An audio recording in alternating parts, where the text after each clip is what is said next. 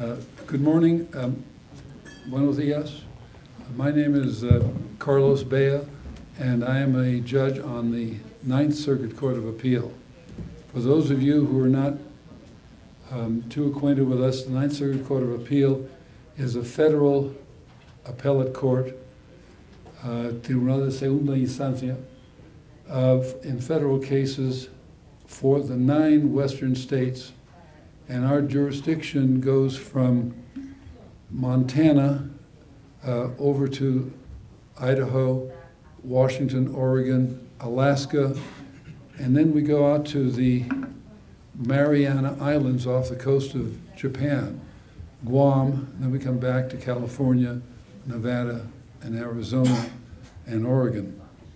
Um, so it, it was a pleasure uh, to be invited here. It's particularly a pleasure to listen to Doug Ginsburg with his expertise about um, competitive matters. He was quite right in saying that the judges of the federal circuits are generalists, and we'll have some talk about specialized courts. I think it's a good idea to have talk. But I'm here to tell you to uh, um, uh, to introduce you to a panel, a distinguished panel, that's going to talk about antitrust matters um, and later about class actions. When I was listening to Doug Ginsburg discuss the trajectory of antitrust enforcement in the United States and how many bad decisions we've made, I reflected on your recent experience here in Mexico in adopting antitrust law, and I was wondering why you, you pobre Mexico, why, why were you doing this? and, I, and I thought something we say in Spain, todo se contagia menos la belleza. Everything is contagious except good looks. And so I thought, gee, uh, it's, it's, it, you're taking on a big, a big burden. But then I thought, maybe some of the thoughts that you'll hear expressed today from the panel will help guide you and prevent you from making the mistakes that the United States uh, judiciary has made over the years. And for that purpose, we have the panel that I'm about to introduce. Uh, the first uh, speaker, uh, first of all, the program is, is going to be this. Each panelist will have about 10 minutes to put forth his thoughts um, on the subjects on which he'll speak. And then we'll have a period of time in which the panelists can ask questions of each other that are suggested by what they have said. Uh, then the panelists will wrap up their presentation, and then we'll open the uh, panel to questions from the floor. And we've left about 30 minutes for questions from the floor, so we have plenty of time to ask questions. All right, now, uh, leading off the, uh, the panel will be uh, Don uh, Luis Lucatero, who is currently the head of regulatory policy within the Federal Communications Commission in Mexico. Luis Lucatero studied physics at Hokkaido University in Japan and continued graduate studies at l'École Polytechnique in France. Luis Lucatero has 12 years of experience in telecommunications, having worked at Alcatel-Lucent headquarters in France in a variety of positions ranging from research scientist, business developer, and head of wireless policy. Mr. Lucatero, Lucatero has advised various governments in telecommunications policy in Europe, India, Latin America, and Africa, and plays a major role as an activist for internet usage as agent of societal transformation. Uh, uh, Mr. Lucatero will give a general explanation of antitrust enforcement in Mexico, the role of COFECO, and the courts. Um, next will be uh, Gregory Sidak. Mr. Sidak is the founder and chairman of Criterion Economics, LLC, uh, a Washington, D.C. and Ronald Coase Professor of Law and Economics at Tilburg University in the Netherlands. He is an internationally recognized expert on antitrust, intellectual property, regulation of network industries, and complex economic litigation. Professor Sidak has testified as an expert witness in scores of proceedings before courts, regulatory commissions, international commercial arbitration panels, and committees of Congress. He has served in the U.S. government as both an economist and a lawyer. Professor Sidak has been a consultant to the Antitrust Division of the U.S. Department of Justice, the Republic of Mexico, and the Competition Bureau of Canada, as well as to major corporations in North America, Europe, Asia, and Australia. Professor Sidak edits the Journal of Comp Competition Law and Economics for the U Oxford University Press and has written extensively on antitrust, intellectual property, and regulation. His books and articles have been cited by the Antitrust Division, the Federal Trade Commission, the Federal Communications Commission, the Supreme Court of the United States, the Supreme Court of Canada, the European Commission, the U.S. Court of Appeals for the D.C. Circuit, the Supreme Court of California, and many other courts and regulatory commissions. Professor Sidak has taught at the Yale School of Management and the Georgetown University Law Center. He was educated at Stanford University and clerk for Judge Richard A. Posner of the Seventh Circuit. Then, and, and Mr. Um, Sidak will be talking about law and economic principles and dominant firm conduct in the market. Then we have pleasure of having Professor George L. Priest from Yale Law School. Professor Priest is the Edward Phelps Professor of Law and Economics and Kauffman Distinguished Research Scholar in Law, Economics, and Entrepreneurship on leave spring 2012. He is a professor of law and economics and Kauffman Distinguished Research Scholar in Law at Yale Law School. Before coming to Yale, he taught at the University of Chicago, the State University of New York at Buffalo, and UCLA. His subject areas are antitrust, capitalism or democracy, products liability, regulated industries, insurance and public policy, constitutional law, federalism, state and local government law, and civil procedure. Professor Priest has a BA from Yale and a, a Doctor of Law from the University of Chicago. His BA of Yale was 1969, his JD from University of Chicago 1973, and he tells me that his most distinguished achievement was being in the same class as Judge Ginsburg, who just spoke to you. So with that, I'd like to turn over the microphone over to uh, Don Luis Lucatero, uh, who's going to give you an, an, explanation of antitrust enforcement in Mexico, the role of COFECO, and the courts. Thank you. In fact, there is a little change in the in the program of what I'm going to talk, and um, I. Um, I, am head of wireless policy in a, not not head of wireless policy, head of regulatory policy for for COFETEL, and in fact I'm part of an experiment that uh, that the Mexican government is doing. I'm a physicist. I'm not a lawyer, and um, and in fact I I have been analyzing how networks work, how how the costs of uh, of network deployments and uh, and network uh, usage as a, as a revenue generator work and I have been discussing with governments around the world in the last few years. I was brought to Mexico the 1st of July uh, for the things I have done, but also for the fact that I, I don't know anyone in Mexico. I have no friends. so, a physicist that knows a lot about networks and has no friends in Mexico, to be the head of regulatory policy for Mexico, knowing that he believes that internet will change the world. Now, um, this being said, I would like to talk about a, an example of price squeeze in Mexico.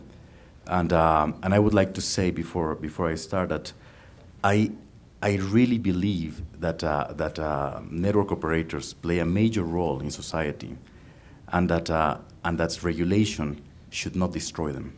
Regulation should, should help them do a better job so that they bring social cohesion, so that they defragment supply and demand, so that um, re they reduce transactional costs for Mexicans. Please know that 32 million Mexicans prefer to waste time and move uh, instead of making a phone call. 32 million Mexicans.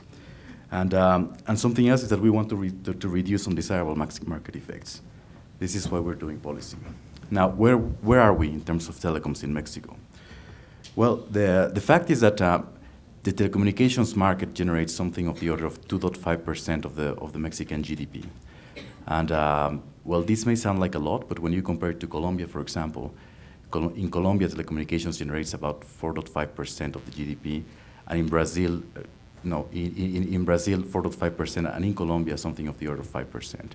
So uh, we believe that uh, probably something could be done in, in such a way that uh, operators make more money, and uh, and uh, and something that could um, that could happen would be to to help uh, operators in a certain way to have a better penetration, to induce more minutes of use among among subscribers, and to and to make the the, the Mexican market less um, um, less stagnant. Um, so what we what we see is that uh, there is some kind of uh, social damage that, uh, that has been achieved because, well, that, that, that has been the result of, uh, of poor penetration in, in several parts of Mexico. We see that uh, people with high purchasing power have better connectivity than people with low purchasing power. And that, uh, and that the, the rules of, of, um, of allocating spectrum to, to operators have been have been very kind to operators, and, uh, and there, are no, there are no strict coverage and capacity um, um, uh, obligations for operators that, uh, that, would, uh, that would bring connectivity everywhere. Now, uh, if we look at the entry barriers to, to, to, to solve this problem, we see that uh, having a spectrum and deploying a, a, a multi-billion dollar network is something that is extremely expensive. And something that uh, since the 1st of July that I, that I joined Cofetel ha have, been, have been studying is the, the performance of mobile virtual operators in Mexico. And uh, to my surprise, I, I, realized that mobile virtual operators in Mexico don't exist. And um, when, when, when you compare this to the case of, of, of, of, the, of the Netherlands, for example, in the Netherlands there are 28 uh, uh, virtual operators in, in, in a small country that is, that is about as big as the, as the Distrito Federal and, and the state of Mexico. And uh, in Mexico, you have none. And, um, and something that, that some of, the, of, of, those that have analyzed the Mexican market in terms of uh, coming and, and, opening a, a, a, a, mobile virtual operator have been, have been saying that, uh, that it is very difficult because the price that they would they would get for for uh, for, for, for wholesale um, connectivity is so high that when they when they go to the retail market they would have absolutely no margins. So um, this doesn't apply to one single operator. It's uh, it's in general something that has been uh, that has been uh, identified to the to the behavior of, of many many operators, and uh, and something that we believe is that opening the, the fixing this problem would actually fix the, would actually help the operators. What we have seen, for example, when we have analyzed this matter, is that in France, for example, 10% of the mobile subscribers, the overall mobile subscribers, have been added into the market uh, by, by mobile virtual operators. And this has not created damage, actually, to the, to the existing operators. Um, we, um, we what we have realized is that uh, when you analyze the cost structure of, um, of, uh, of delivering um, uh, mobile, mo mobile connectivity service, there is the subscriber acquisition cost, and there is the subscriber retention cost, and some of the little costs that could be easily transferred to the, to the, to the mobile virtual operators. And this way, um, fix some of the supply and demand for connectivity problems that, uh, that we have in Mexico. And, um, and we believe that helping somehow uh, virtual operators to, to exist in the market far from, from destroying value for, for, for the existing players would, um, would, um, would actually bring value to the Mexican society and to the existing players. Um, we, we have identified this, this, uh, this price squeeze problem, and, um, and we believe that is something that could be fixed if we, if we sit down and talk together. Uh, I will not talk about the role of COFECO and, um, and uh, and the, and the relationship between uh, between uh, between COFECO and um, and COFETEL. I'm not a lawyer, but uh, I'm a, I'm rather a network economics expert. But um, if you have any more questions, uh, please please approach me. Thank you.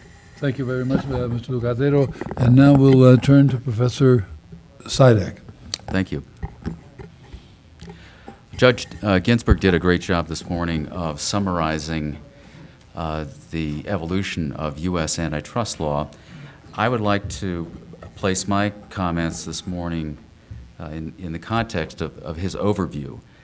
Uh, Mexico is at a point uh, where, with its, its uh, relatively new statute, it will be making uh, key decisions uh, by COFECO and by the courts that will interpret the statute uh, in the same way that the, U.S. courts, including the U.S. Supreme Court, has interpreted the Sherman Act uh, for more than a century.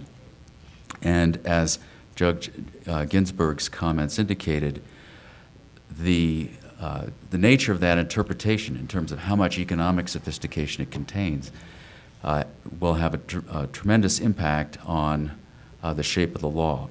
Uh, the, the large case now, of course, that, that uh, uh, we see here in Mexico is, is the Telcel case, of a, a margin squeeze case. And uh, this case, I think, pr- uh, presents the opportunity for uh, Mexican uh, antitrust enforcement uh, uh, officials and, and the courts to make clear what the uh, overriding objectives are of Mexican antitrust law. I would like to make some uh, points this morning about uh, the consumer welfare approach of American antitrust law and why I think that would be uh, the desirable way for Mexican law to evolve. Uh, let me also uh, make some more specific comments about margin squeeze. Uh, in the United States, we had an important Supreme Court decision uh, about three years ago called Linkline, which uh, factually is very similar to the Telcel case, except that it involved DSL service instead of wireless service.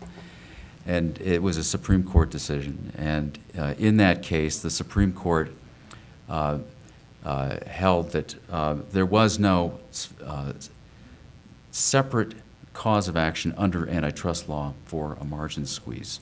There could still be a regulatory uh, cause of action for margin squeeze, but not under antitrust law.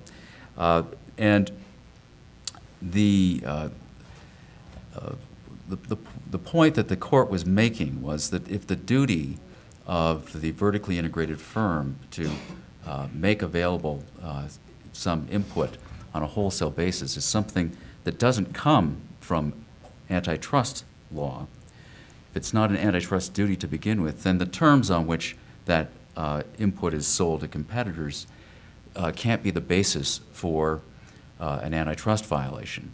Um, in, in the Linkline case, the retail price that was being charged to consumers was above cost. It was not a predatory price, so there was not a predatory pricing problem. And the, uh, the wholesale price that was being charged uh, by uh,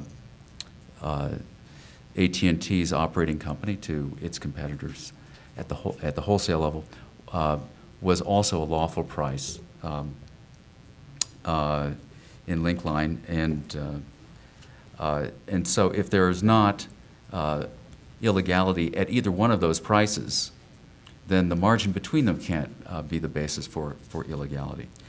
I think that leads then, so the first point then is, is the examination of the margin something that arises under antitrust law under, or under uh, regulation? And if you have a sector-specific regulator, there are good reasons why it should be handled by uh, the regulator rather than the antitrust official. And one uh, powerful argument, I think, in favor of that is uh, just the sheer complexity of trying to oversee a margin as opposed to a, an absolute price, whether it's the wholesale price or the retail price. In the United States, before the Linkline case, back in the 1940s, there was a famous uh, antitrust decision uh, involving Alcoa, the big aluminum company, which made aluminum ingot and sold that raw material uh, downstream to companies that would fabricate the aluminum into sheet. Alcoa itself was also vertically integrated in the manufacture of sheet. In that case, the downstream fabricators went to the, the U.S. government and said, we're subject to a price squeeze here. The, the price that we're paying for the ingot, the wholesale input here, is too high relative uh, to the retail price that Alcoa is selling its fabricated sheet for in the downstream market.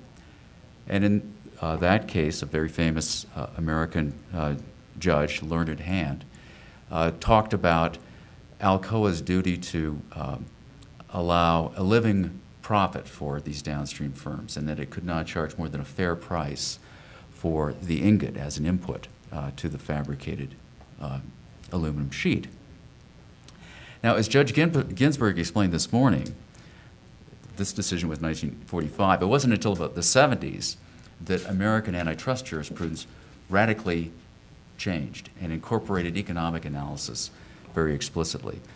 So by the time Linkline comes along in uh, 2009, uh, this conversion of antitrust jurisprudence in the United States to something that explicitly incorporates economic analysis has fully taken place.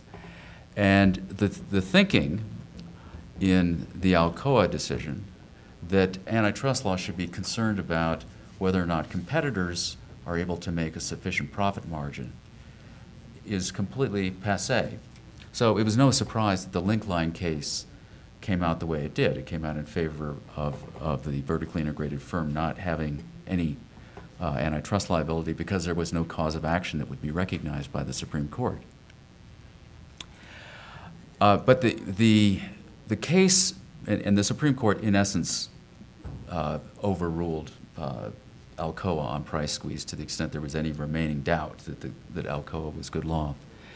Now, to an American antitrust lawyer, that would be quite unsurprising for the reasons that Judge Ginsburg pointed out uh, this morning. But we see factually identical price squeeze cases arising in the telecommunications industry in Europe with the opposite uh, results taking place, where antitrust liability is imposed on uh, a vertically integrated telecommunications carrier. So uh, there is a fundamental choice that Mexico faces whether to uh, look at the American approach or look at the European approach to, to price squeeze cases uh, in general and in, in the telecommunications industry uh, specifically. The experience in the United States has been that attempting to use antitrust law as a way to regulate prices, let alone regulate margins, which, as I said before, is much harder, uh, is, is not a successful exercise.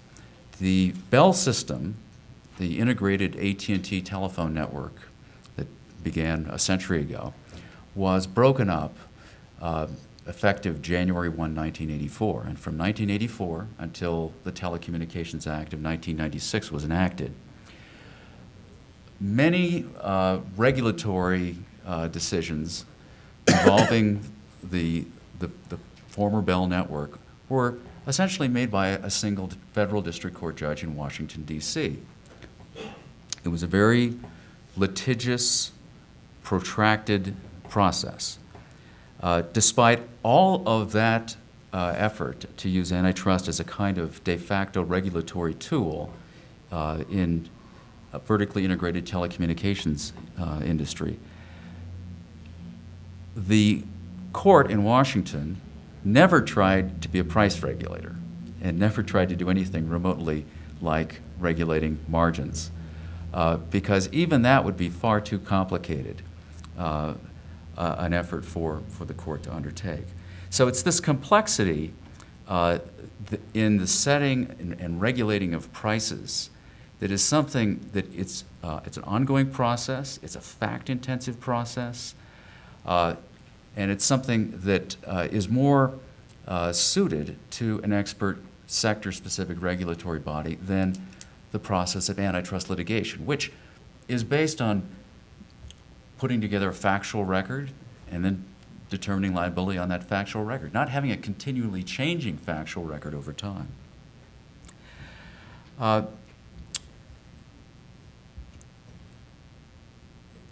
Another aspect of this, because of the complexity of, of trying to regulate margins uh, in an industry uh, like telecommunications, uh, one has to ask what advice does an antitrust lawyer give his client? And, and I think it's useful uh, to look for a moment at, at the Telcel decision here that COFECO issued. It's a very complex, lengthy decision, probably 500 pages. I've only read the English translation.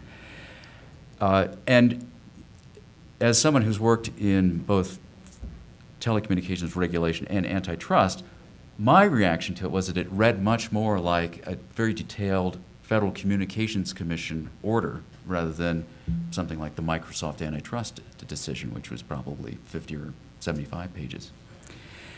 The longer uh, a decision is and the more factually complex it is, the harder it is for a lawyer to come away from and say to his client, here's the advice I can give to you tomorrow if he were to ask me uh, whether a change in my retail price uh, in response to competition, a dropping of the retail price, would be, uh, and would be anti-competitive uh, as a matter of margin squeeze law in antitrust law in Mexico. Now, I think apart from these considerations, the biggest cause of concern with respect to margin squeezes and antitrust theory of liability is that it focuses on competitor welfare rather than consumer welfare. Uh, this is exactly what Judge Ginsburg was saying American antitrust law wrestled with for about 70 years before finally deciding that the antitrust laws were not a tool of industrial policy, they were not a tool of preserving a certain kind of market structure for aesthetic reasons or cultural reasons, but they were focused on creating uh, the opportunity for uh, competitors to create the best uh, outcomes for consumers. The problem with threatening a firm, a vertically integrated firm, with antitrust liability if its competitors cannot achieve a, a desired level of profitability is that now that, that vertically integrated firm faces a choice. Given the complexity of the rules that it has to follow uh, over the margins, uh, it, it can try to uh, uh, still be an aggressive competitor, but face the risk of antitrust liability. Or it can simply raise its retail price and relax, knowing that if its retail price is higher, then even the, le- the least efficient of its competitors are not going to complain that they're being squeezed between the, the wholesale price and the retail price. And so what you, you end up with is something that is a kind of government managed cartel, which, if pursued privately by competitors in a market, would be condemned as a price fixing conspiracy. But yet, it's the predictable outcome of a price squeeze rule of liability that makes it attractive for the, the leading vertically integrated, uh, integrated firm in the market to choose the, the quiet life, to, to set its price high, be a price leader, allow its competitors to make a, a, a sufficient amount of profit, even though consumers pay a higher price.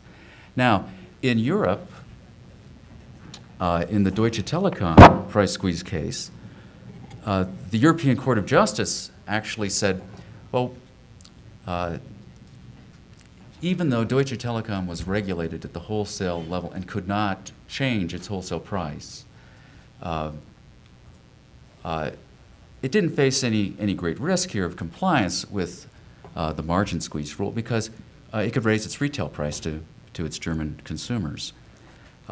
That's the, the fundamental dichotomy that, that faces policymakers in Mexico today. Do you want uh, a rule that's very complex and that induces a vertically integrated firm to opt to be a price leader and avoid uh, aggressive price competition to the detriment of consumers? Or do you want uh, a, an antitrust regime that encourages robust competition that lowers prices for consumers? Uh,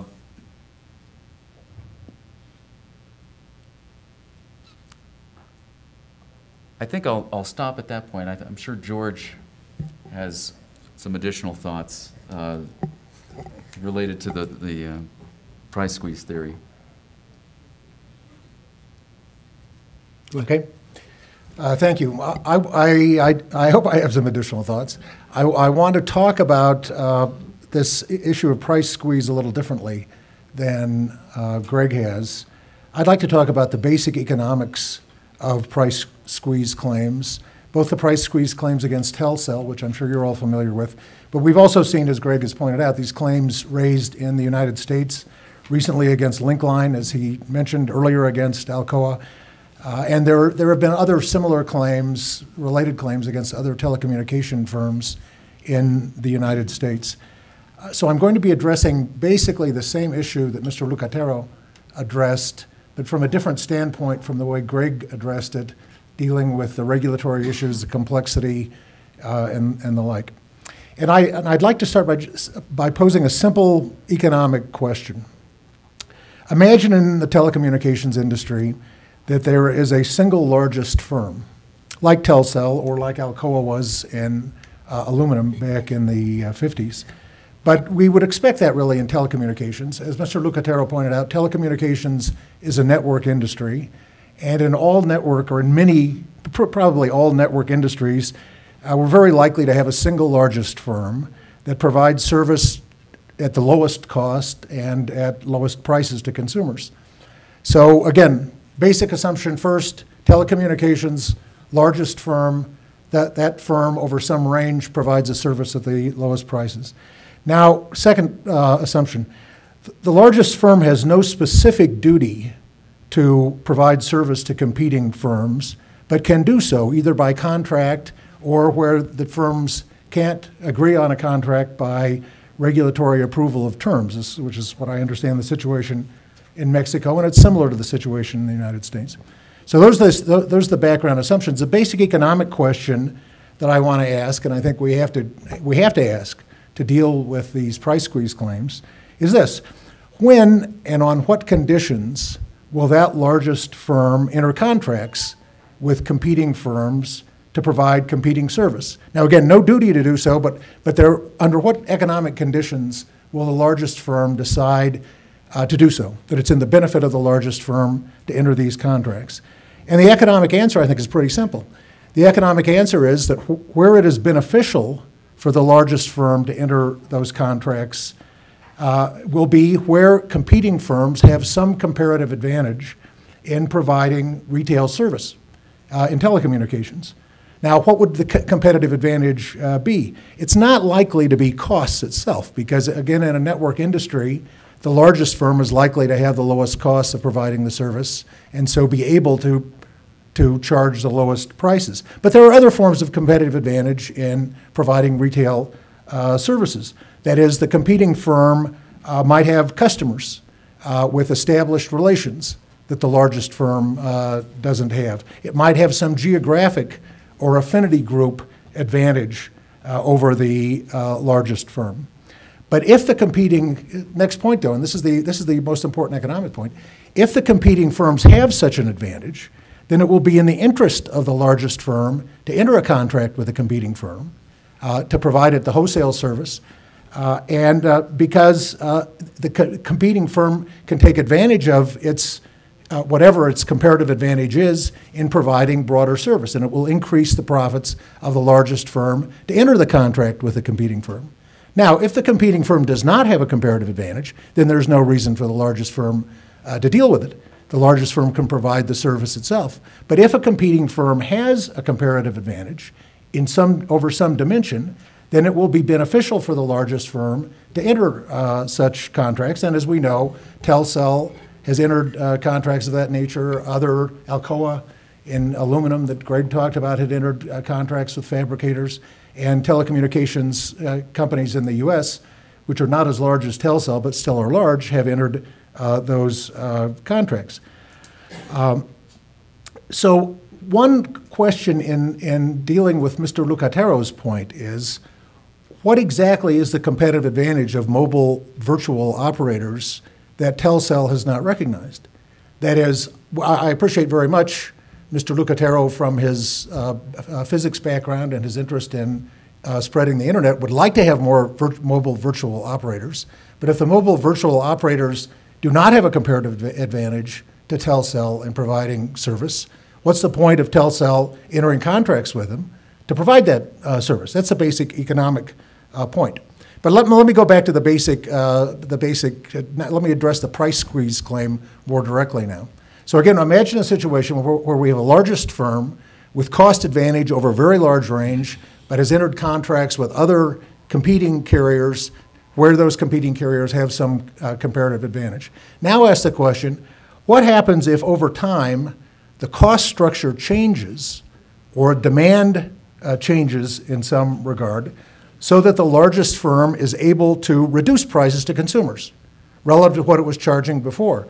Well, as a general matter, we would want, the- and this is uh, the reverse, the converse of Greg's point, we would want the largest firm to do so. Where the largest firm can lower prices, uh, we want the largest firm to do so, and this will deal with the penetration problem that Mr. Lucatero uh, was dealing with. If the prices are lower, you're going to have more penetration where prices are lower. It's not clear from, from, except perhaps in models, it's not clear from actual experience, as I understand it here in Mexico, that mobile virtual operators can charge lower prices. If they could charge lower prices than Telcel, then it would be advantageous for Telcel to enter agreements uh, with them. If Telcel can charge the lowest prices, then it's not advantageous for Telcel to enter those agreements. It's advantageous for Telcel to lower its prices itself to increase penetration uh, in Mexico. But now, and this is the price squeeze claim, what if, again, we have, uh, we imagine that the, the largest firm has, there's some change in costs, some change in demand, it's able to lower its prices to consumers. But what if those lower prices eat away at the previous comparative advantage possessed by the competing firms?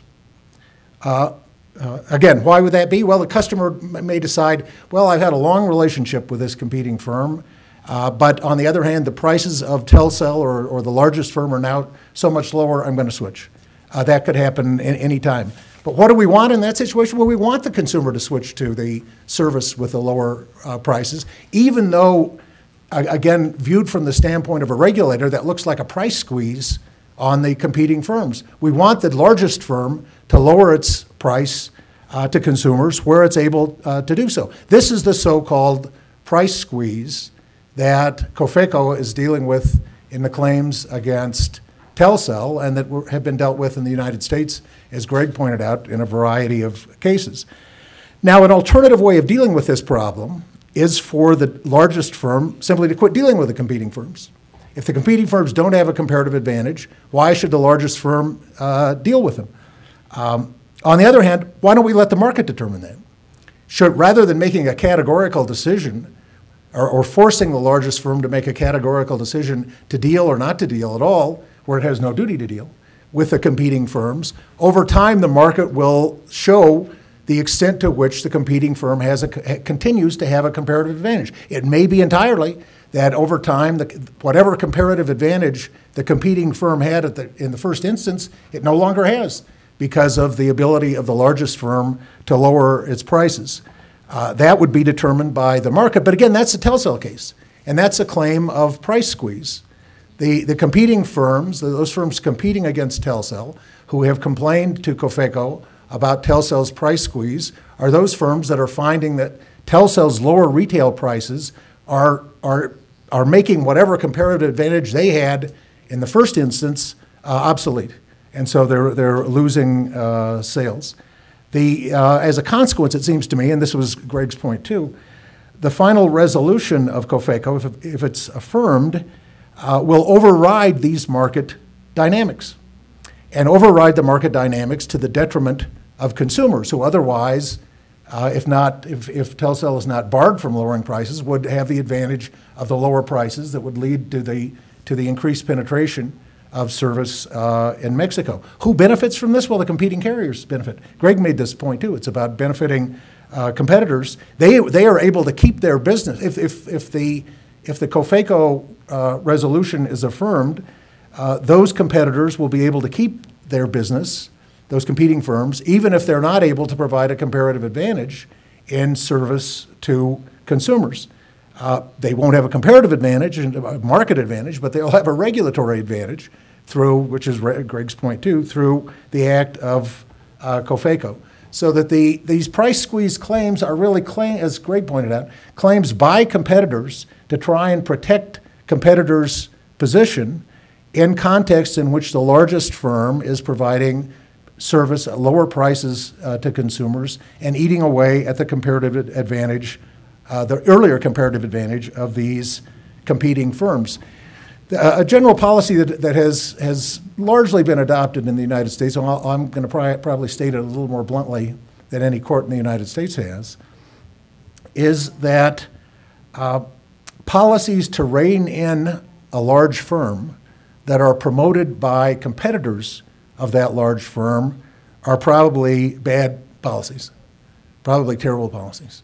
That is, if, if the largest firm, firm is operating as a monopolist, take the alternative. The largest firm is operating as a monopolist and charging a monopoly price. Well, that's great for competitors because the competitors, this is a, the so called umbrella theory in, in the US, where the largest firm is charging a monopoly price, the competing firms can charge a price just less than that and, uh, and stay in business. It's only where the largest firms, competitors are, are only upset about the behavior of a large firm where the, where the large firm is undercutting or underpricing the, uh, the, the, the uh, sales of the uh, competitor.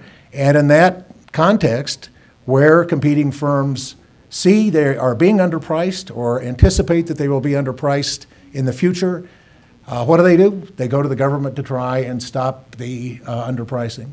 Uh, the, where the government does so, it's bad for consumer, good for competitors, have bad for. um, there is um, the entry barrier to deliver telecommunication services is extremely high.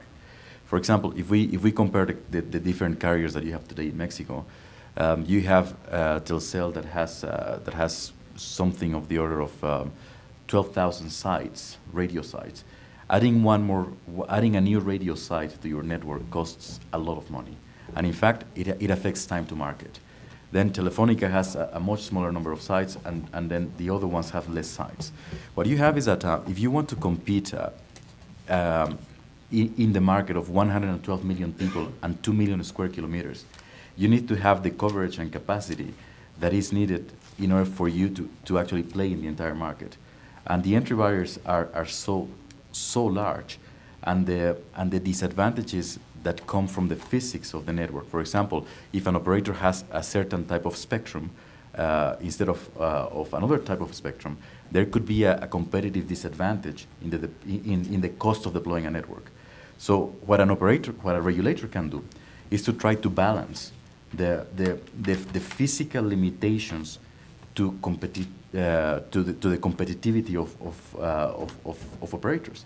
And for example, to try to balance the amount of spectrum in the right frequencies that, that, that, uh, that, uh, that operators have. Something that we're doing is that we're trying to help uh, operators to have more radio sites. This is, this is one of the most important uh, policies that we're creating right now to help operators to, to have many more towers than they have.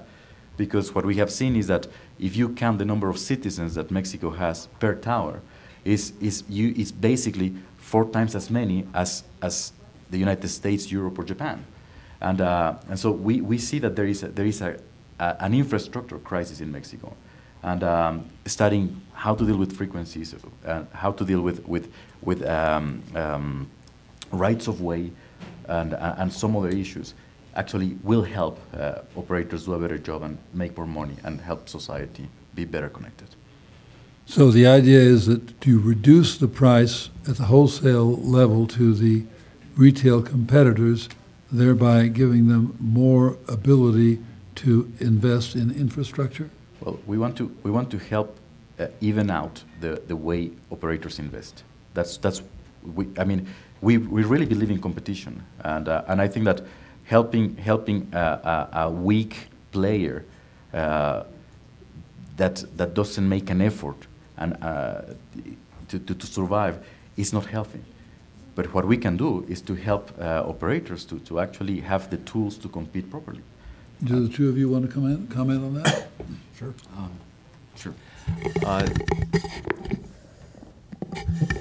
I think you can look at um, margin squeeze doctrine uh, as a kind of uh, competitor subsidy. Um, if, if you're regarding it as a tool for um, inducing network investment, for example. And, and the question, and, and in that sense, it's not qualitatively different from a lot of other kinds of regulatory policies, uh, such as unbundling of networks, that explicitly, explicitly were intended to uh, encourage uh, entry by telecommunications carriers first by leasing uh, parts of the network of the incumbent, and then eventually uh, by building their own facilities.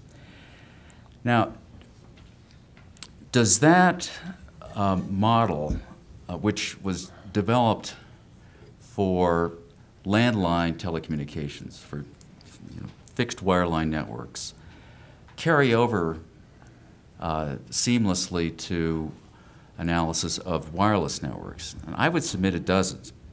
Uh, the traditional story uh, that was given uh, by legislatures and regulators for imposing mandatory unbundling of networks at regulated prices uh, was that there was a, a landline bottleneck. There was a, nat, there was a natural monopoly over the local loop, that it was not cost effective for an entrant to, to come in and lay down a competing local loop. And uh, the most efficient way to stimulate uh, facilities-based competition was to mandate that the incumbent lease the use of its facilities uh, at regulated prices to entrants until those entrants could build up sufficient uh, numbers of customers to justify making the sunk investments themselves to build out networks. So that was the story in 1996 under the U.S. Telecommunications Act. Uh, but factually, that doesn't map well into wireless telecommunications because wireless is not a natural monopoly. Uh, the, the number of service providers is a function of how much spectrum the government allocates relative to the, the natural physical characteristics for efficiently operating a, a wireless network. Uh, and so in, in the fixed line uh, wireline uh, side of telecommunications, we would talk about uh, competitive local exchange carriers. Uh, these were the ones who were leasing the use of unbundled network elements. Uh, and the objective was that eventually they would invest in their own facilities.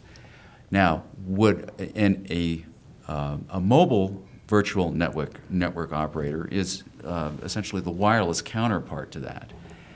But the ability uh, of an MVNO ultimately to uh, mature into a facilities-based wireless operator ultimately depends on, its, on the ability of uh, that carrier to procure spectrum from the government.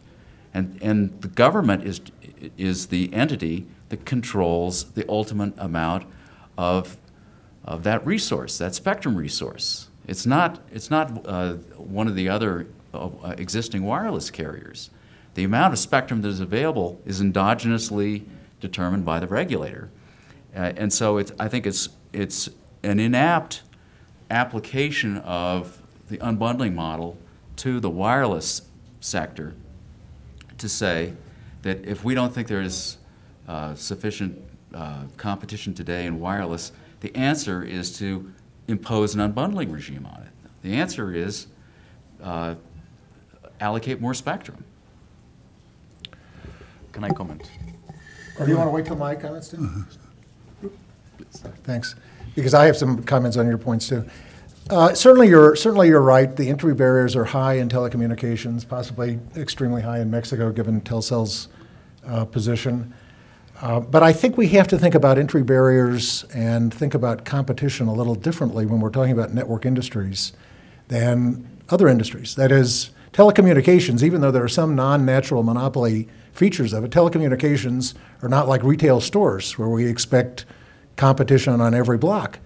Uh, we, entry barriers are high in telecommunications and many other industries because they are network industries and because there are many advantages of having large networks. I think if we look around the world, what we see in telecommunications is the scale of operations increasing, not decreasing. Not, we're not going in the U.S. to 100 different carriers, wireless carriers. We're, in fact, in increasing scale. Now, Greg is quite correct that much of this derives from governmental decisions as to the allocation of spectrum. Uh, but to say that does, does, is not to say that the government ought to split up the uh, ought to split up the uh, spectrum and offer it to a thousand different carriers. That's not likely to be efficient for the uh, society. As we see, and I'm, I'm sure Mr. Lucatero knows this and is even more enthusiastic than I am, in telecommunications, as in other features of the internet, we're having increasing interoperability between various uh, devices, uh, laptops, iPads, telephones, iPhones. The more interoperable they are, the better. That is likely to mean larger scope and scale for, for telecommunications and related internet uh, operations. But that, but the implication of that is there's less competition in the old, in the, in the traditional sense of retail stores or, or uh, um, restaurants competing against, uh, hundreds of them competing against each other, uh, uh, and, and more larger, uh, larger scale and scope operations, which will mean inevitably uh, higher uh, uh, barriers to entry. Yeah, um, for example, when we have done our analysis of, of virtual operators, um, we we actually um, came to the to, to, a, to a very specific case of, a, of an operator who wanted to move a base station from a non-profitable town into a profitable town. They wanted to move a base station from one place to the other because they were saying that the customers there were not good, and uh, and in fact, something that something that happened was that uh, somebody in that community said that he was able to get many customers to use the base stations if only he could become a mobile virtual operator. So the local lord there said that he could, he could solve an information asymmetry problem in a very efficient manner because the subscriber acquisition costs for the company in question were so high in order to get subscribers there that it was just not possible for this company that, that had this strategy department in Mexico City to, to, to completely understand the dynamics of that, of that small market. And this, and, this, uh, and this fellow was telling us that they could, they, the, the, the subscriber acquisition costs that they would have would be so low that in fact they would be able to fill that base station. And, uh, and we, have, we have found a number of individuals who believe that they can, they can unlock a number of niche markets that when you add them all together uh, imply millions of people. So this is, this is, this is one of the reasons what, why we think that there is a number of subscribers that is waiting there for, to have connectivity that would not affect uh, the existing carriers, but, uh, but, but on the other hand, help them with, with more efficient um, commercialization um, uh, strategies that would be impossible to, to, to define in a centralized marketing department uh, of, an existing carrier in Mexico City. So uh, this is, this is, this is one, one thing that we have seen. I think that it's important to come back to the question of, of whether some desirable objective will be pursued through regulatory tools or through antitrust tools. And I think that uh, uh, universal service and broadband penetration, uh, those, those are more regulatory objectives than antitrust objectives. Antitrust is concerned about uh, ensuring that firms uh, compete robustly to provide the best prices and uh, product choices for consumers. And it's not uh, it's well suited to being a policy tool for building an industry structure that we think would be better than the current industry structure. Uh, I want to come back uh, to uh, the, uh, the actual um, provision of the LFCE that is at issue in, in the Telcel case, uh, because I think it has much broader implications for the development of, of Mexican antitrust law. Uh, the price squeeze that uh, Telcel uh, is accused of is what is, uh, at least in the English translation of, of the Spanish uh, text of the statute, it's known as a relative monopolistic practice as opposed to uh, one that, that is um, akin to a per se violation. So the relative monopolistic practice has to be uh, evaluated uh, by uh, looking at the, the relevant market and, and ascertaining whether there's uh, market power on the part of the, of the accused firm. And also, an important component of Article 10 is whether or not uh, firms, competitors, are being unduly displaced from the market by the conduct of the accused firm. Uh, let me tie this in now to, to what George was saying a minute ago about what's unique about network industries. They have substantial sunk investments. Uh, and as a consequence, they have large scale, they have typically low marginal cost because uh, once you build the network, you lay the fiber or you build out the, uh, the towers, base stations, uh, the incremental cost of running the network is relatively low. Well, what does that mean in terms of the plausibility of some antitrust theory of monopolization under uh, Article 10 of the statute? What does it mean to displace a firm? This will be an important point of statutory construction in Mexican antitrust law, I'm, i assure you, because if if displacement is really taken to mean exclusion from the market, then exclusion is not a very plausible strategy in a network industry with substantial sunk costs. Let's think first of all about uh, uh, the, the wireline side of the business. If, if the, the wireline incumbent tries to drive out a competitor that's laid some fiber networks, what happens? Well, maybe the competitor uh, goes broke, exits the market, uh, or declares bankruptcy and is taken over by, by somebody else. Well, that, that somebody else now has a lower cost structure and comes right back in and competes. Well, the next time, is the incumbent going to engage in, in the same kind of exclusionary strategy? No, because it knows it doesn't, it won't, it won't succeed. So this is like the idea in the predatory pricing cases of recoupment. There's no reason that you're going to uh, set a, a, a, price below cost to try to recoup it uh, in the future if the likelihood of recoupment is, is low. Now let's think about the wireless network. Is it really that much different from the, the wireline example that I gave? I don't think so because again the resource, the fundamental resource is spectrum, which is completely non-depreciable, doesn't degrade, doesn't rot, doesn't rust.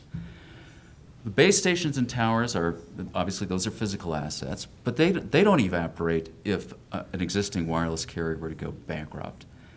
We saw this in the United States when WorldCom uh, went bankrupt.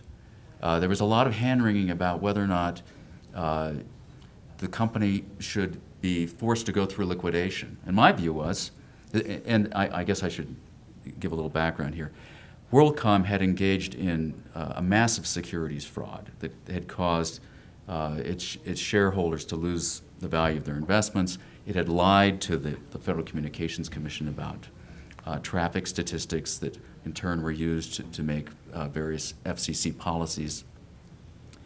And the company went into bankruptcy. So should it be reorganized or should it be liquidated? My, my view at the time was just liquidate the thing. Uh, and there was a lot of concern about, oh, well, then you'd lose a long distance competitor. And I don't think so because the critical infrastructure assets don't depreciate. They are still there to be used by somebody else. And so, in general, uh, you, Article 10 of the LFCE uh, should be uh, read very critically uh, with respect to what displacement means when that uh, part of the statute is being used to examine an infrastructure industry that has these large sunk cost characteristics.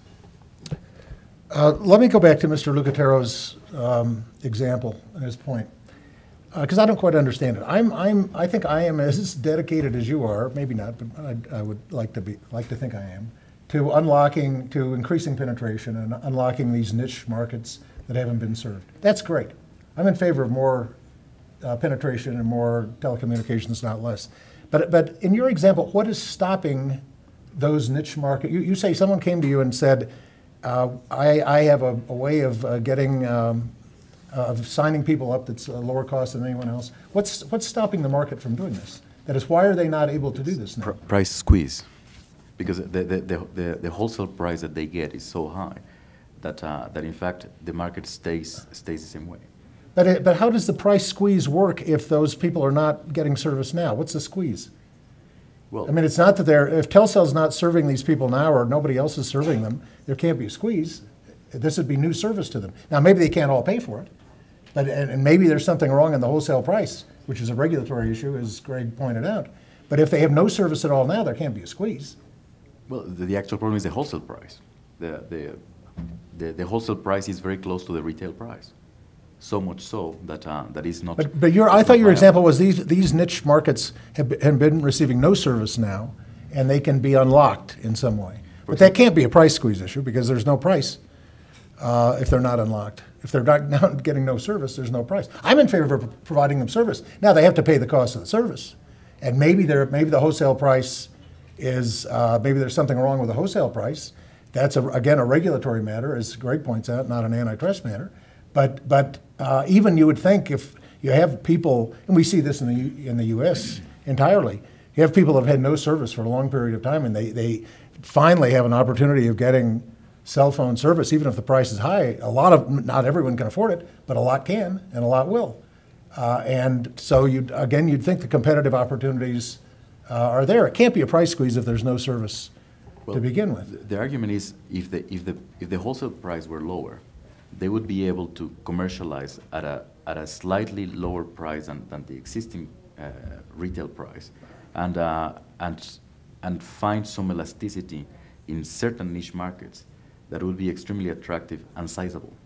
But, but the problem is that the But in these, price but, but think, and in these niche markets, if they don't have any service now, They, they do. The- I, I was talking about. I was talking about uh, the, a specific case of, of a base station that will be that that has been moved from a, from a, from a town because the, the the existing operator decided that that place was not profitable I understand. because they didn't, they didn't have the volume of subscribers that was needed. I understand. And, uh, and, and somebody who came and did an analysis of the market said that if only they had um, a, a- a much lower uh, wholesale price, they would be able to fill those base stations with subscribers. And, and the numbers are very good, actually. But, you know, this wholesale price has to come from somewhere. It comes from wholesale costs. So, I mean, you just can't, I mean, you, we could say, I mean, it's a great, it's a great idea. Let's just lower all prices. Let's just reduce all costs so that there's greater penetration, everyone has greater ass, everyone has greater access to resources, but that's not realistic in the world. I mean, costs are costs. You can't just, well, somebody has to pay them. Somebody has to pay those costs. You can lower, you, a, a government can, can command a firm to lower costs, but somebody's got to pay those costs. It has to come from, if it's not from that set of consumers, it's from some other set of, of citizens, it's from some other set of citizens. And this is why we, we have policies that explicitly subsidize service in high-cost areas. This is what universal service is about. So you can ask, who, sh- who should, who should receive the, the subsidy and who should pay the subsidy? Let's talk about first who should, who should receive it. You could pay the, the, the subsidy to carriers so they can lower, your, lower their price. Or you could pay the subsidy, I- I'm sorry, you could pay the subsidy, yes, to carriers so they could lower their price. Or you could pay the subsidy to consumers so that they could pay the full price of what it actually costs to uh, deliver service to them in, in high-cost areas. Now, where does the subsidy come from? Well, the subsidy could come from all telecommunications users, all telecommunications carriers, all taxpayers. Why does it come from just uh, the incumbent carrier itself, you know, from its shareholders and ultimately its, its, uh, its customers?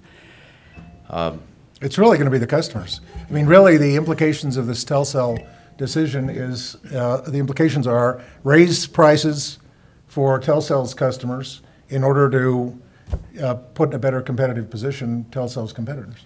That's basically the, the economics of it. So, so going, going back to your argument of costs, um, for example, there are some companies that have come and told us that the wholesale price that they find in Mexico is higher than the wholesale price they would find in, in, in many European countries. And what, what they are saying is that the, the wholesale price in Mexico is, is, not, is not just a question of costs, it's something else.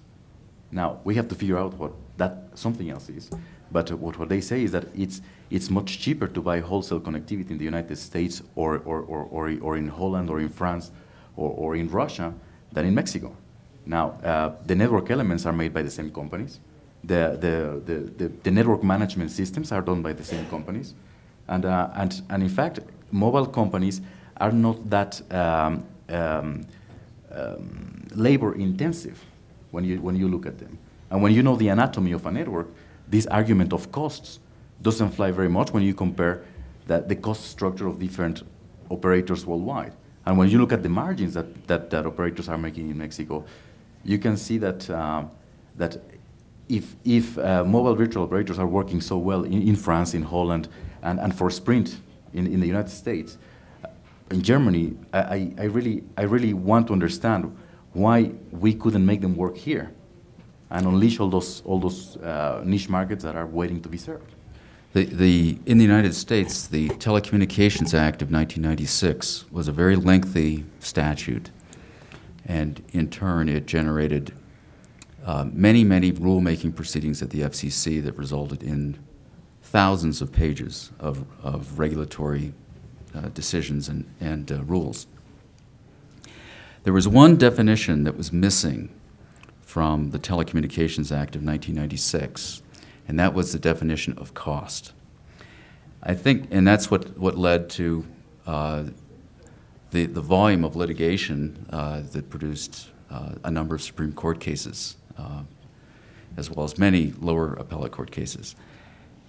This actually is a, is a very deep uh, uh, question of economics. What is cost, and how does cost differ uh, to uh, an engineer uh, and to an economist and even to an accountant? They, they all have different conceptions of what cost is.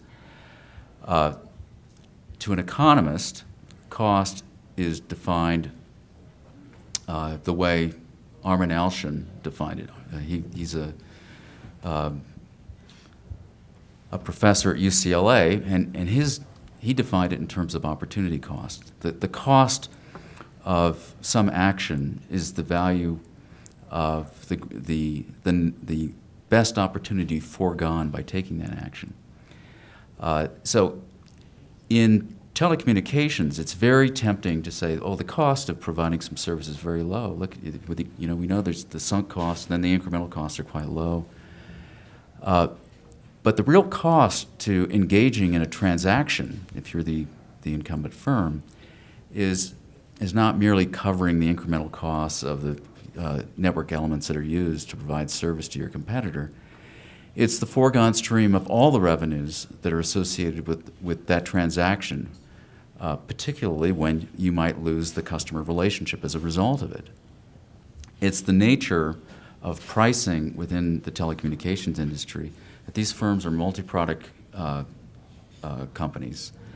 Uh, and there are lots of common costs from the, the, the sunk investments that are made in the network that are recovered by different margins, different markups on different products. And these products are used in conjunction with one another. Economists call them complements rather than substitutes. So if you lose a customer, you're not just losing uh, voice wireless service, for example, uh, the revenue stream on that from that customer. You're losing the revenue streams on all the complementary services that that, that customer would, would purchase from you uh, over, over some period of time. Uh, in, uh, in, in a voluntary transaction between the incumbent and an entrant, the price that would be struck would be one that would fully compensate the incumbent for that opportunity cost, for uh, the loss of the revenue stream associated with the loss of the customer. It wouldn't be simply the, the operating costs associated with uh, the termination of that call. So Oh. this, this is one really major difference in the way economists look at costs, and, and I think engineers do. Unless George has, some- you- Can I respond to Mr. Lucatero again? Um, I operate at a much lower level of, of um, uh, ideas than you do. So let me just deal with Mr. Lucatero's uh, much lower level of abstraction. Uh, Point about costs in Europe versus costs in Mexico. You know, these are, a, these are, this is a complicated question, as you, I'm sure you know. Uh, there are lots of differences between Europe and Mexico. Density of population, standard of living, all kinds of differences. I think. uh, and- And, uh, of course, as, as Greg has pointed out throughout, this is a this is typically a regulatory issue, not an antitrust issue. But there are going to be areas of the population that aren't served. I'll give you, give you a personal example. My wife and I have a small cabin in the mountains of Colorado.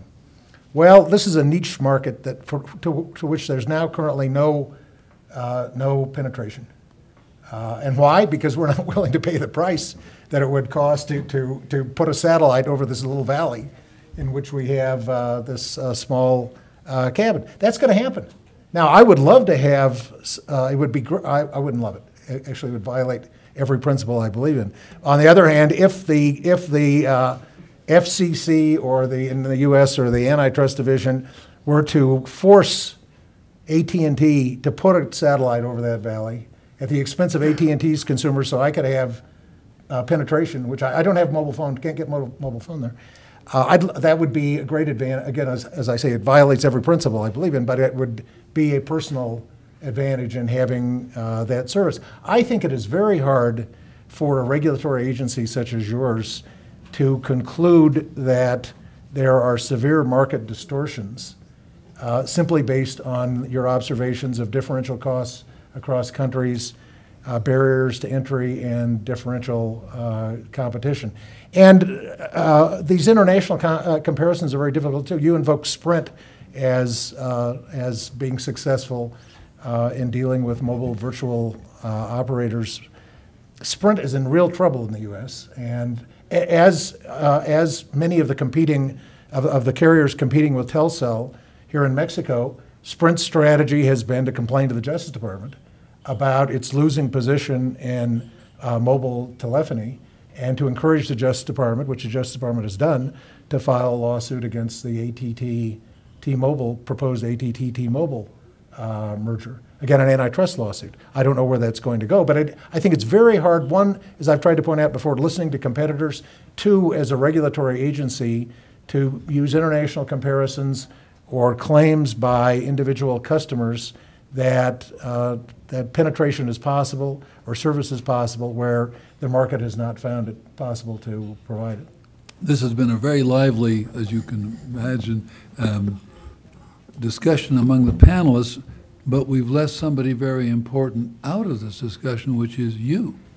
Uh, So now we open the floor to que- to questions, and we, could could we have the microphone, please? um, So we want to take them, up- come on up with the microphone, uh, because unless a microphone is used, you don't hear the question. If you hear the answer, you're just as confused as before the question was asked. No. Give it to this gentleman.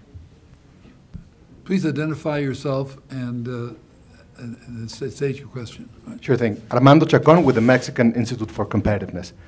Well, I, I know this is the price squeeze panel, but uh, you touched you touched several times on the issue of uh, of the spectrum allocation. So I would really like to hear what, uh, in your view, like the, the main the main uh, deficiencies of, of how we're doing that as you know relative to the ideal way of doing it. That's you. Señor Lucatero.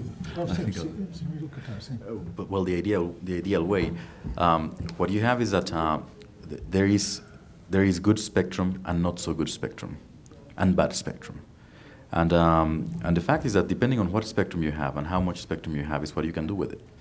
If you have a spectrum in the high frequency in the high frequencies, the probability of going through a wall it's much lower than if you have a spectrum in the in the, in the, in the lower frequency bands. So that's something that has to be considered. Now, um, as, as mobile internet becomes more prominent and as, as the prices of, of smartphones um, gets lower and lower, the, um, we, can, we foresee a, a very strong adoption of mobile internet that implies that we will have to have very large contiguous blocks of spectrum that will have to be allocated to, different, uh, to the different players in Mexico sometime in the future. And, uh, and, uh, and, and the question is, how do we, how do we cope with the existing spectrum assets that operator ha- operators have today, the, the new spectrum assets that will be needed to deliver mobile broadband, and to do that in a, in a manner that is fair and allows them to compete on the same grounds? Yeah, but, uh, you know, in terms of the efficient rule, in a way that will achieve the common goal of, of increasing penetration, or, you know, the, the quality or quantity of services provided. Well, uh, I'll simply say that uh, th- this is a topic that Ronald Coase wrote about in the 1950s, uh, the importance of having property rights in spectrum and, and, yeah, and, and making, making those, those property rights marketable. Uh, There are a lot of um, more technical questions on, do- should you, should you auction the spectrum? Should you have pure price auction or some combination of a beauty contest and, and an auction? If you're going to have an auction, uh, what's the design of the auction? Uh, and there's, uh, there's a lot of experience on that uh, in the last 15 years. Uh, uh, to be honest, I don't know uh, uh, which of those techniques uh, Mexico is, is uh, using right now, so I, I, I can't comment further. George, you got something to say? No. No, okay. Just, just one, Uh, one have other another note. question over I here. hear Mr. Lucatero. Oh, yeah, pardon. so- But something that, something that will, we will not miss next time will be coverage and capacity obligations. We, I mean, in, in, in most countries in the world, operators have coverage and capacity obligations that are much stronger than that what we have in Mexico. So this is, this is, a, this is a topic that we will study with, with, with, with a lot of uh, detail. will increase the, the entry barriers, in a way, I think. Sure will. All right, would, thank you very much for that question. Please identify yourself and, uh, Thank you. Thank you. No? Well, my name is Alberto Mansur, and I have a loud voice, so I can speak without the microphone. Uh, I want to make an abstraction from the Telcel case, because I think this is a, a, a policy issue and not just a, a central case issue.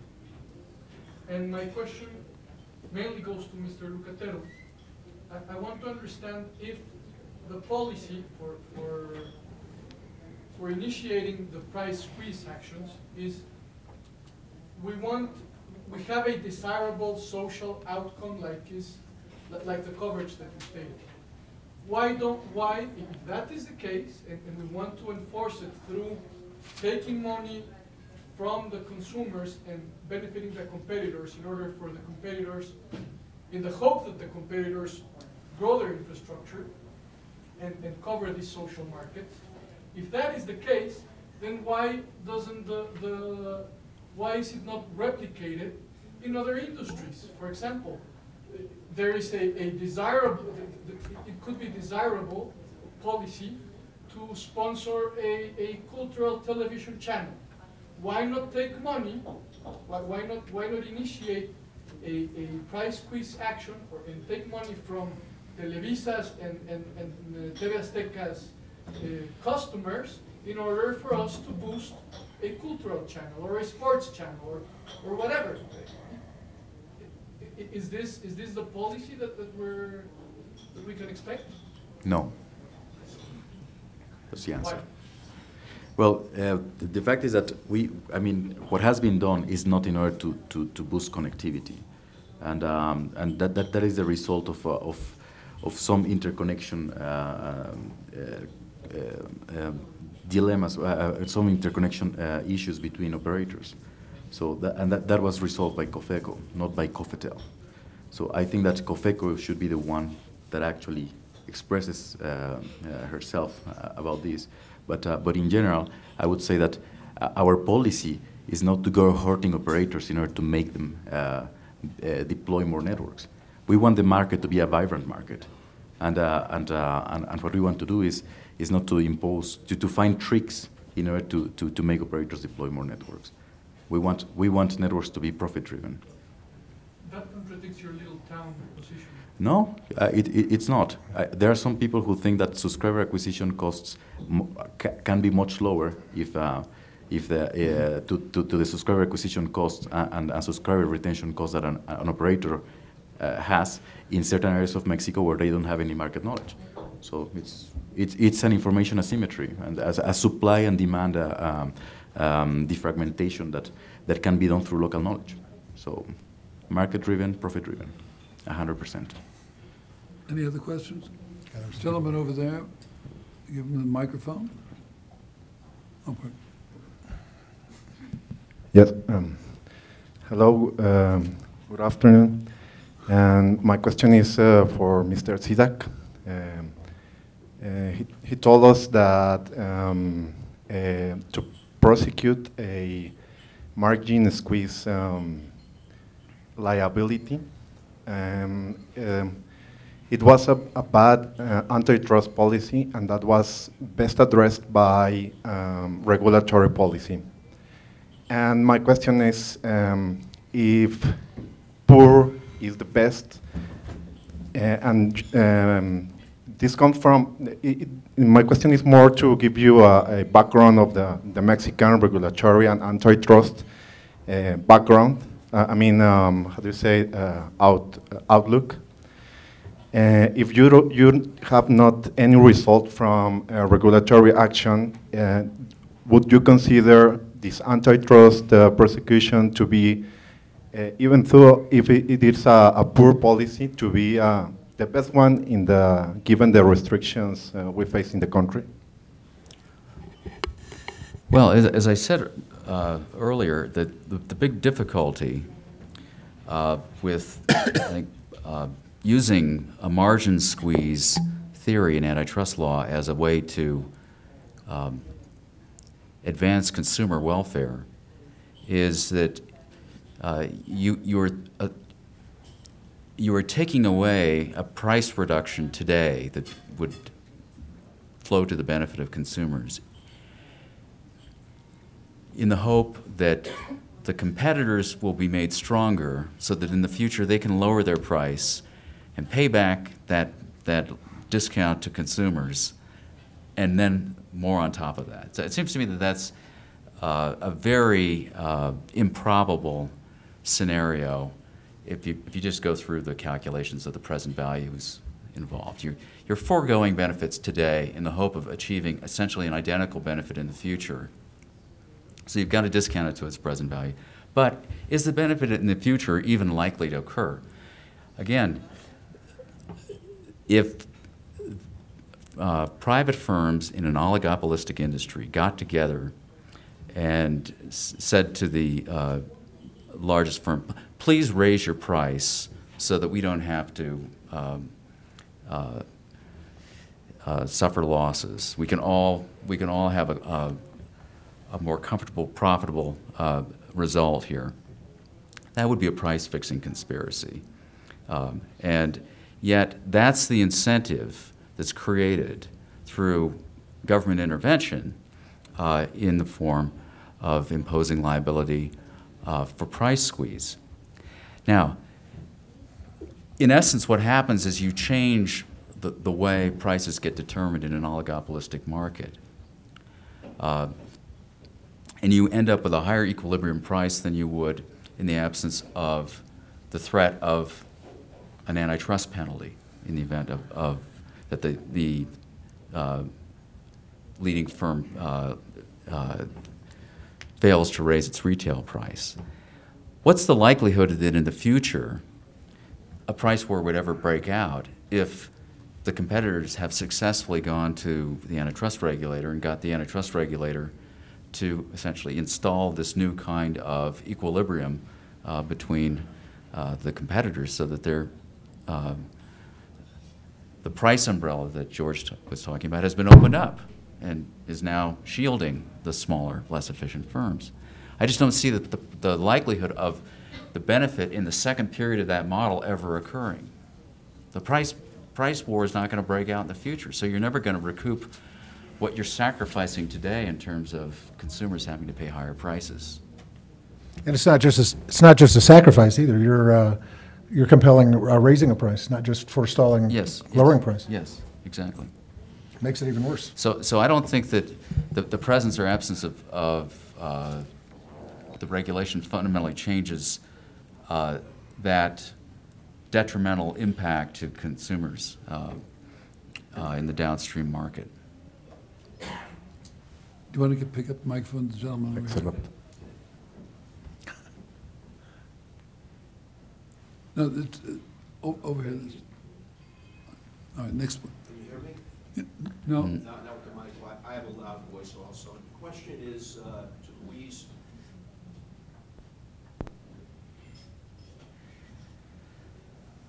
Now, can you hear me? No.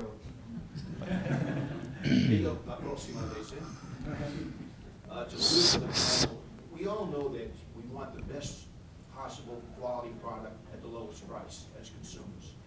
Right now, here in Mexico, probably our, one of our largest companies, if not largest, is Walmart de Mexico. Uh, Walmart right now is, is moving into the market very strongly, building new stores and everything. Here in the federal district, our mayor has come up with possible new regulations and everything, basically telling Walmart, you can't build a store within X kilometers of existing Mexican retailers, okay? Uh, Some of us here work with clients like Walmart and everything like that. My question on this is, first, does this regulation legislation have any future in Mexico City?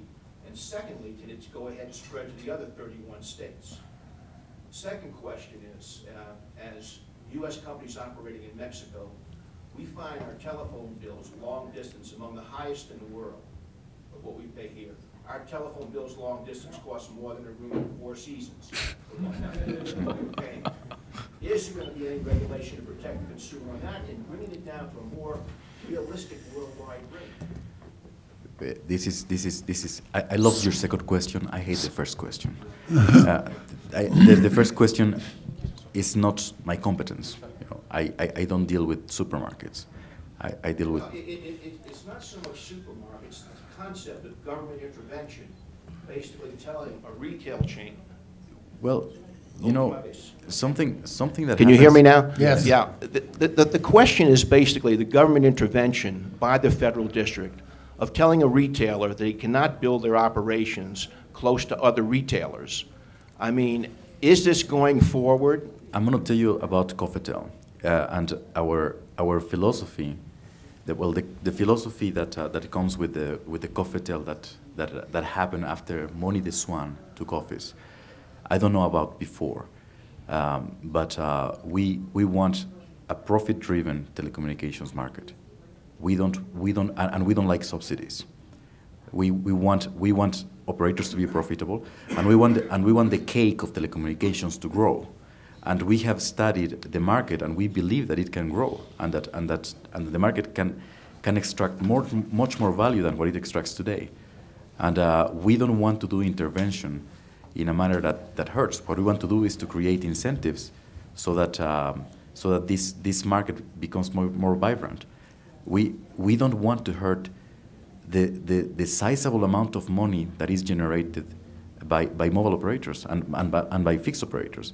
You know, a, a, a, a, noticeable part of, of the gross domestic product of Mexico is generated by telecommunications, and we don't want that to go down. So intervention, I don't, I don't really think it will happen. I think that we will, we will try to create some incentives uh, for competition, and, uh, but, but intervention as such, And, in- and the at long distance rates, the long distance within the telecommunications? Well, um, I think that the, here again there is a problem of costs. Uh, I, I, really believe that when, when you look at, uh, at uh, when you compare a Skype um, um, call and a, and, a, and, a, call that you make from, from, from, from a mobile phone or a fixed phone to, to, other, to another country, you just, you just realize that there is, there is a problem here. And, uh, and something that happens is that Mexico has a very strange regulation for long, for long distance. It's a in, in Mexico, it's illegal to be efficient. You know, It- I mean, so we, we really have to fix the law. There, I mean, there, there are some changes that have to be done. If you look at, the, at, at, the, at this reglamento de larga distancia, it's really bizarre, honestly. I mean, and, uh, and when you look at, and when you see that when you go from France to Australia from fix to fix, uh, in most carriers, you can call as much as you want, and uh, and uh, and, uh, and and you just pay your, your, your a a fixed monthly fee. I think that we have things to fix in this realm. Yeah, oh, just one final comment, as, as most of us here are lawyers and everything. The, the two constitutions, the Mexican and the U.S., are very similar in, in many aspects and everything. The big difference that I've seen in, in my 30 years in this country is the application of the law doesn't really exist. And I think that's something that has to really, you know, go forward. Because a, a lot of us, you know, right here, particularly in the aspect of security, are getting very concerned about what's happening in the country. Thank you. Yes, thank you.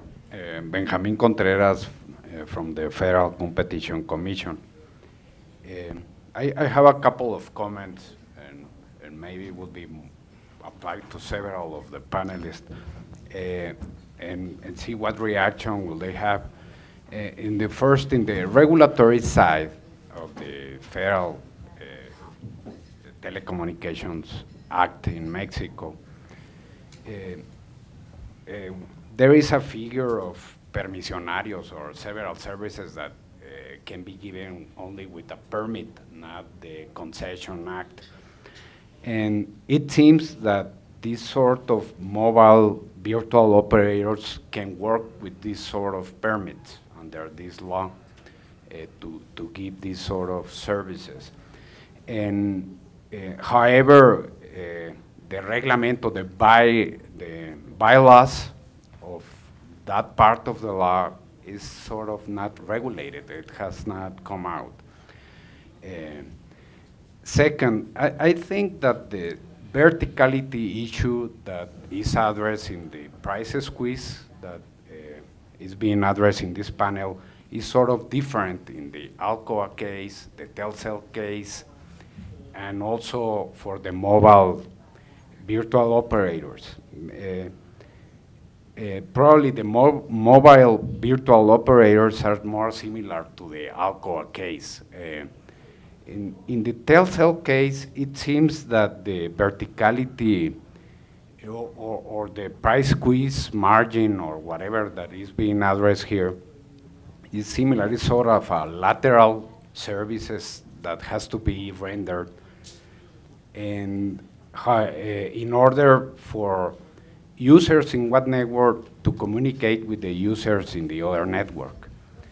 And, and maybe I, I don't know, probably that uh, difference uh, makes us address this problem a bit different.